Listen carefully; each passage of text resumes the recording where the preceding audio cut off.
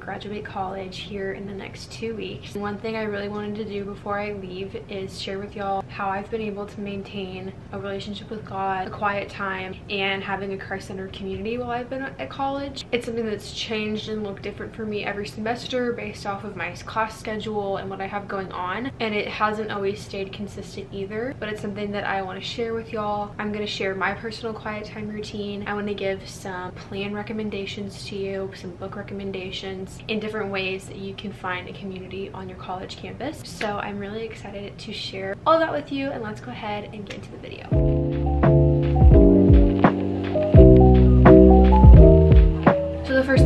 When I sit down to do my quiet time is I turn on worship music. There are a few ways that I feel closest and most connected to God and that is one through worship. I always feel connected if I'm outside, if I'm in nature, and then if I'm journaling, writing down my prayers. I feel like a lot of things come to fruition when I write them down. So I will link my worship playlist in the description box if you want to check it out. I also recently found another worship playlist that's more chill and instrumental, which sometimes can be easier for me to listen to if I'm reading because I don't know about y'all, but sometimes I have trouble reading something when there's lyrics going on and I know them because I'll start hearing the lyrics and I won't be reading the words. So I found a more chill worship playlist. I'll link both of those in the description box for you to check out. So that is the first thing I do when I sit down and do my quiet time is I turn on music.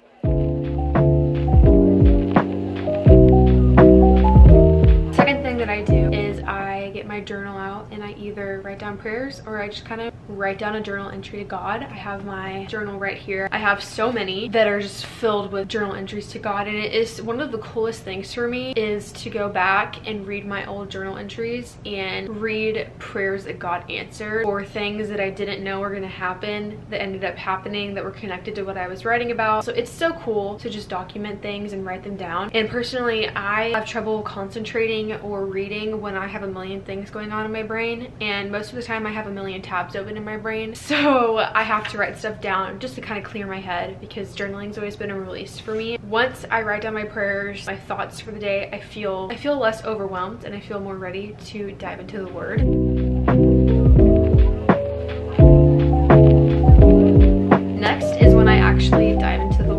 Right now I am in Deuteronomy. I'm reading about the Feast of the Booths, the Feast of the Weeks, and Passover, all of that. It's been really cool to read about. My goal by the end of the week is to finish Deuteronomy and to go into Joshua, which is the next book. I mentioned in one of my recent vlogs that I have tried multiple times to do Bible in the year reading plans and I never finish. I just get behind and I end up not catching up and then I just give up completely. So what I decided to do is I went in the I went in the contents of my Bible Bible and I checked off books in the Bible that I know I've read either once or multiple times. Now I'm just going in order of the books that I haven't read yet. My first one was Deuteronomy, so I'm reading through that one and then Joshua Judges. So there is still a lot for me to read and a lot for me to learn, but I'm excited to kind of do it on my own and do it at my own pace. Sometimes I'll just read one chapter if I have more time. Like today's a Sunday, so I'm gonna have more time to read more chapters. Yeah, just kind of go at my own pace. I feel like it's less pressure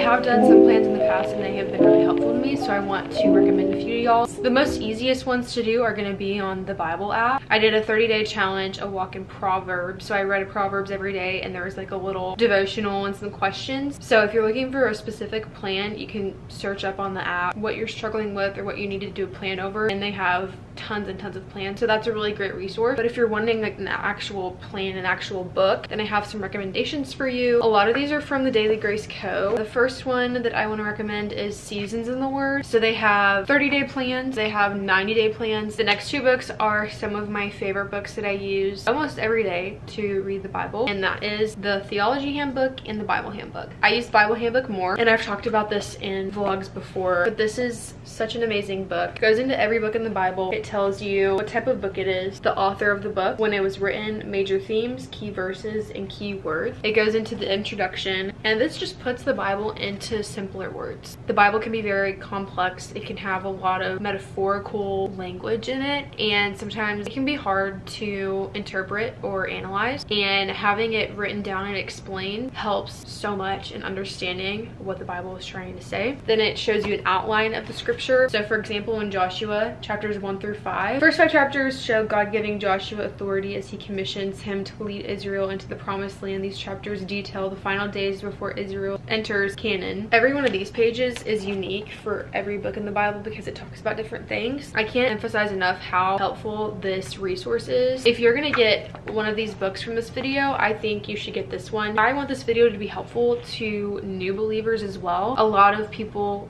come to know Christ when they're in college and it can be really overwhelming to understand the book and this is just a great simple way to get started and understand the Bible more. So if you get one book out of this whole video, get this one because it will help you tremendously. And then just a few other miscellaneous ones that I've gotten that I've either read all of or a little bit of. This one is called The Light, A Walk Through the Psalms. Then we have the Attributes of God plan. This one's a little different because you can actually like write down and there's questions for you to follow. And then lastly, the prayer guide. And this is also more of a study that you can write down and reflect a lot. So yeah, all those are just plans that you can follow. But if you want to do more of what I'm doing, just kind of like read at your own pace, that is totally fine too. All that to say, your quiet time and your Bible reading time is your personal thing. It doesn't have to be some laid out, structured thing. It can be as simple as sitting down, reading a few chapters or a few pages in your Bible, and then getting up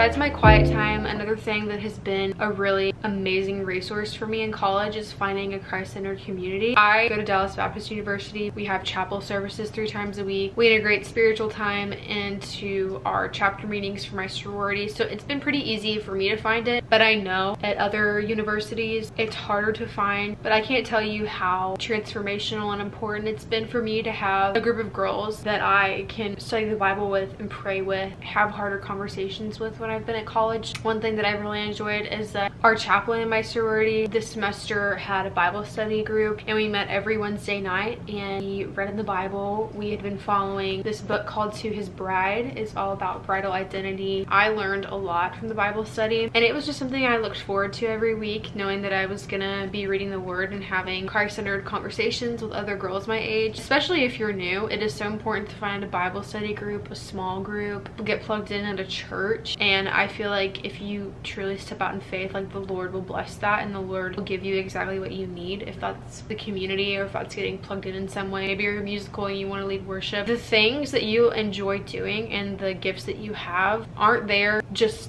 because you happen to have them. Like God specifically placed those in you for a reason and he wants you to use those gifts. So for me, I've used music to help lead worship and I have a story that I've been able to help a specific community. Everybody has unique gifts and a unique story for a reason and we shouldn't let it go to waste. And the last thing I wanted to talk about was book recommendations. I got a lot of them here. A lot of these books that I picked out, because I have a ton more, but I wanted to pick these out specifically because a lot of them have similar themes and I feel like these themes go along with a lot of the things that college students struggle with, which is identity, finding a community of friends, and also finding your purpose. It's a huge pressure that all college students feel because you're pursuing a specific degree and you have to figure out what you want to do with your life. This one is called Live on Purpose. It's 100 devotions for letting go of fear and following God. And these are also really short devotions, so it's great if you're really busy. It doesn't take a lot of time at all. I love this book. I got it several years ago, but I didn't finish it until this summer. It's called What Happens When a Woman Says Yes to God by Lysa TerKeurst. It helped me so much in my job and career search as well. These next two right here are probably books that you've heard about before. They're both by Jennie Allen. This one is called Get Out of Your Head. This one's called Find Your People. This one's about stopping the spiral of toxic thoughts. This helped so much with anxiety in my life. And then this one's all about finding a community, finding your people. The next one is also by Sadie Robertson. It's called Who Are You Following? Here are the main points. Be more intentional about who you follow. Value being known over being seen. Turn away from the battle of comparison and feeling not enough. Let go of people's of you and instead rest in God's love for you. Use your social media to be a light in the world. And lastly, I'm going to recommend Dream Big by Bob Goff. I absolutely love his books. I read Love Does. I read this one. They are amazing. It has to do with the theme of finding your dream job, your career, what you're passionate about. So those are all the book recs I have and that is kind of all I wanted to talk about in this video. I hope this was a great resource to kind of maybe get your quiet time routine started. Even if it doesn't look exactly like mine, that's okay. As long as it's maybe like a, a stepping stone or a starting point for you. I hope this video helped you in any way. Thank y'all so much for watching and I will see y'all next week. Bye!